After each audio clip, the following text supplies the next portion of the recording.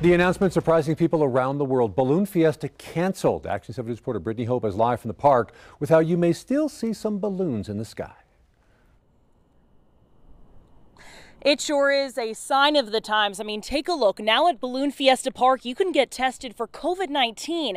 Well, although this massive field behind us won't be filled with balloons this October, we did talk to a local pilot who tells me you will still see a show in the sky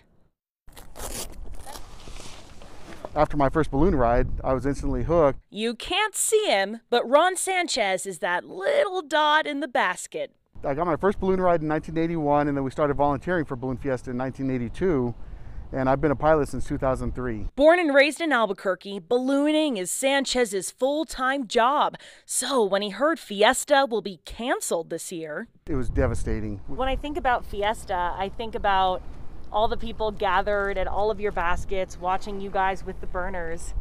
I mean, how much are you going to miss that? Oh, big time miss it. it. It's I love sharing my experience with the general public. But this is not the end. And we still want to put on a mini balloon fiesta because it is a part of everybody's life. Sanchez says he and at least 75 other local pilots will still light up the sky this October. We also have some other plans of where we're going to do something to help honor first responders, police, fire, nurses, medical personnel.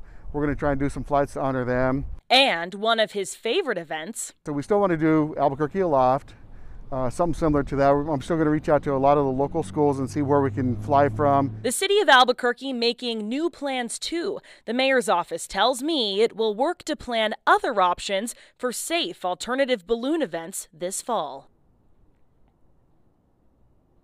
Sanchez, local pilots in the city, they aren't the only ones who are coming up with a new game plan for October. Tonight at 10, I'll tell you what some out of state pilots are doing to help our economy from afar. Live here at Balloon Fiesta Park, Brittany Hope, KOAT Action 7 News.